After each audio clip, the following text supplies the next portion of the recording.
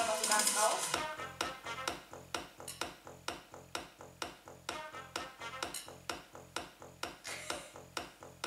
Eins wird schon dabei sein. Ja, ich will das mal umfüllen. Ich glaub,